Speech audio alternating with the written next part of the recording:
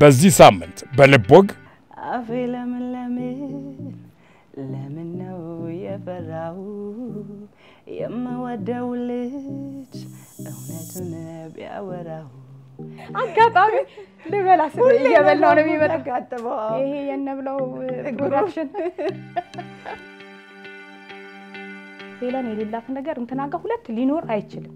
ምንም ይሁን አዎ ልክ ነህ እኮ እንደዚህ ሆኖ እንደዚህ ሆኖ ነው።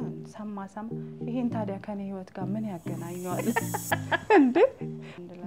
እንደዚህ ነው ሁለታችንም። አይመስልሽም? ልጁ እንዲህ ነው ያንጠለጠለ እኔን የሚያክል ሴትዮ መስኪስ። እሺ ምንም የማናውቀው ታሪክ በቃ ፖለቲከኛ አድርገውን ቁጭ አልን በቃ በቃ በአንቺ ላይ ማለፍ የነበረበት ነገር ሆኖ አልፏል እና ያን ጊዜ እንድታልፊው ተፈልጓል ማለት ነው። እውነት ነው። ምስክሮቹ ሊመሰክሩ መጥተው የሚመሰክሩብን ሰዎች ጃኬት ስንቀያየር አያውቁም። ሀዘን ስታዝኝ ሀዘን ይጨምራል። በነገሮች ላይ ደስታ ስጨምሪ ደስታ። እኔ በመስኪ ሞት ሀዘን አይደለም ልቤ በጣም ሁሉ ነገር ነው ስብርብር ያለው ማለት የልብ ወግ እኛ ቤት የማይነካ ርዕስ ቢኖር ይሄ የዘር ፖለቲካ ነው።